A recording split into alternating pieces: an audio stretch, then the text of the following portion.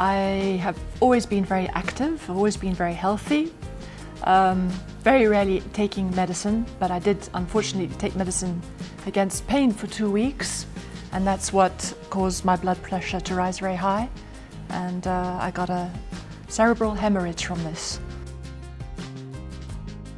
It's interesting and um, it's a challenge.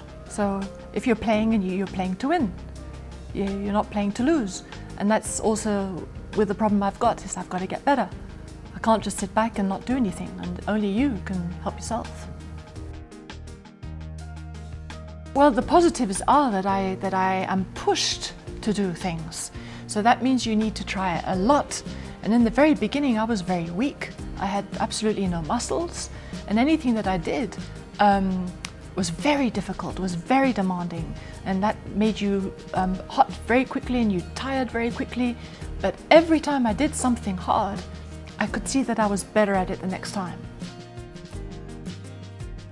The Armeo really would be beneficial and helpful to a whole lot of extra of other people with the same problem as I've got.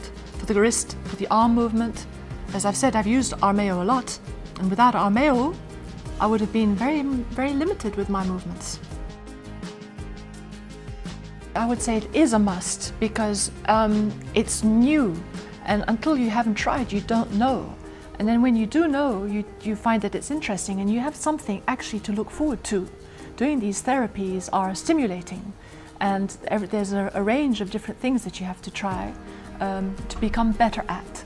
Um, so you need to have a motivation and you need um, to see your progress and having something to look forward to doing every day is very important. And if you didn't have all these options available to you and you were left to your own initiative to do, I think progress would be much, much slower.